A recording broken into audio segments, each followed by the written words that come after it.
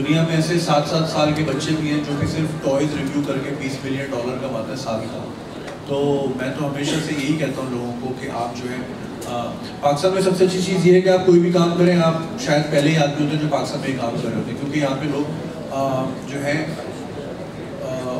گھبراتے ہیں کوئی نئی چیز کرنے سے، ہمیشہ دوسرے کو دیکھ رہے ہوتے ہیں۔ آپ نے نوٹس کیا ہوگا ہمارے یہاں ٹرینڈس ایک نے مندی کا ریسٹورینٹ کھولا، سب نے کھول دیا۔ پھر ایک نے فلانی چیز ہاٹ ڈاگ کھولے سب ہاٹ ڈاگ بیچنے لگے۔ سر یہاں تک کہ ایک بندہ بالی گیا تھا یا باکو گیا تھا ہاں میری فیس بک فیڈ پوری باکو سے بنی ہاں ہوئی تھی۔ سارے باغو چلے گا پہلے ڈاکو تھے باغو چلے گا تو یہ ہم ٹرینڈس فالو کرتے ہیں تو ہمیں ان چیزوں سے نکلنا چاہیے اور ایکسپلور کرنا چاہیے۔ میں ہمیشہ یہ کہتا ہوں یوٹیوب جو ہے اس دنیا کی سب سے بڑی یونیورسٹی ہے جہاں پہ آپ کو آملیٹ بنانے سے لے کے راکٹ بنانے تک ہر چیز کا ٹیوٹوریل اویلیبل ہے۔ بالکل۔ ٹھیک ہے آپ کو ہر چیز سیکھنے کو مل سکتی ہے۔ پرووائڈیڈ آپ چاہتے ہیں کہ آپ سے سیکھنا ہے وہی والی بات ہو گئی چھری ہے آپ گاجر بھی کاٹ سکتے ہو انسان کو بھی کاٹ سکتے ہو۔ یہ آپ کے یوزیج پہ ہے۔ تو میں یہی کہوں گا میں ینگسٹرس کو بھی یہی کہتا ہوں کہ جو ہے اپنا یوزیج جو ہے وہ پازیٹیو رکھیں۔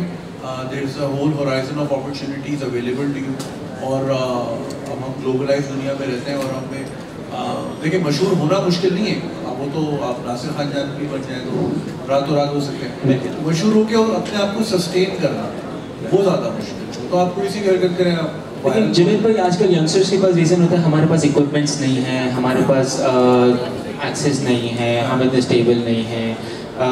تو I also follow Irfan Junejo I guess he made his word with you on mobile camera I guess and he is now on stage just like you so یہ خود کے لیے ریزنس ہیں یا پھر actually does these things impact دیکھیں، اگر آپ بہانے بنانے چاہیں تو آپ لاکھ بہانے بنا لیں ٹھیک ہے؟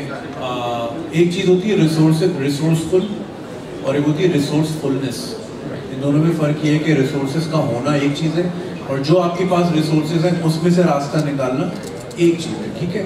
مجھے جو ہے ایڈیٹنگ نہیں آتی، آج تک نہیں آتی۔ تو اور جو ہے لیکن اٹس امپورٹنٹ آپ کی ویڈیوز میں اگر پروڈکشن ویلیو اچھی ہو اچھی گاڑی ہو خوبصورت لڑکیاں ہوں تو لوگ زیادہ کلک کرتے ہیں۔ ٹھیک ہے؟ But at the end of the day جب تک آپ کا کانٹینٹ اسٹرانگ نہیں ہوگا کچھ بھی نہیں معنی رکھتا۔ اب آپ کو یاد ہوگا جیسے آپ کہہ رہے ہیں مجھے بڑے عرصے سے فالو کر رہے ہیں۔ میں ایک میڈس روم میں رہتا تھا اجمان میں ٹھیک ہے؟ تو ایک چھوٹا سا کمرہ تھا وہاں کھڑکی بھی نہیں تھی میں تھا اور میرا فون تھا۔ ٹھیک ہے؟ تو میں میرے پاس جو ریسورسز تھے میں نے ریسورس فلنس اپنائی۔ اسی کو یوز کرتے کرتے کرتے چونکہ اس میں کانٹینٹ اسٹرانگ تھا۔ وہ چیز پھیلتی گئی پھیلتی گئی اور اب آپ کے سامنے ہے۔ تو یہ بہانے جو ہیں آپ بلاگ بنا لیں کہ یہ نہیں ہے، وہ آج بادل آئے میں تو آج ویڈیو نہیں بنا سکتا یا باہر حالات خراب ہیں، کیمرہ چھن جائے گا۔ تو ایسے اگر آپ ڈر کے رہیں گے تو پھر آپ زندگی میں کچھ بھی نہیں وہ کہتے ہیں نا، ڈر کے آگے جیت ہے۔ اور ایک امپورٹنٹ چیز میں ضرور یہ کہتا ہوں ہمیشہ کہ یہ جو آپ سوچتے ہیں کہ لوگ کیا کہیں گے، یا فلانا مذاق اڑائے گا، یہ فلانا کامنٹ کرے گا، تو میں جو ہے ڈر کے۔ لیکن لوگوں کے کہنے سے کوئی آپ کو کینسر تھوڑی ہو جاتا کہنے والے کو کہنے دیں آپ آپ اپنا کام کریں.